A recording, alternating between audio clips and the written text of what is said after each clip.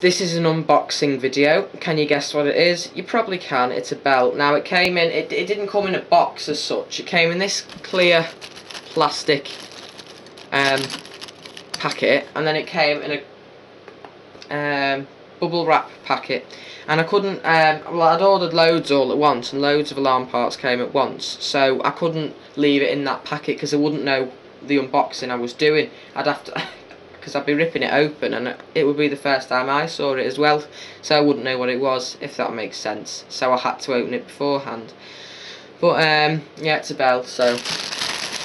Whoa. Um, it's not the best of bells. It's made in China. It had a sticker on over the screw. And there goes the tripod. That was a good save what? That was a little action film now, that. What a good save that was. It had a little screw. I'm not making any sense. It had a little sticker over that screw.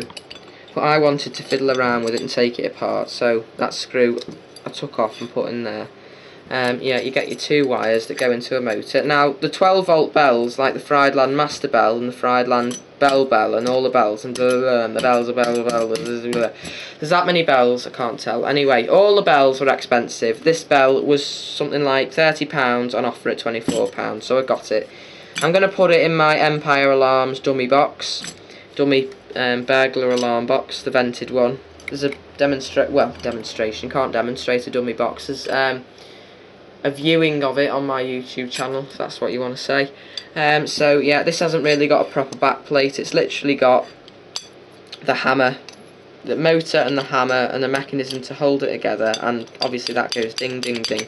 There'll be a demonstration of this on the channel anyway.